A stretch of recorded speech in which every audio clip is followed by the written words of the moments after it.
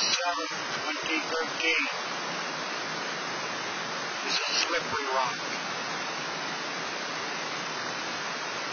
Old Fort, North Carolina. Top of Falls Campground.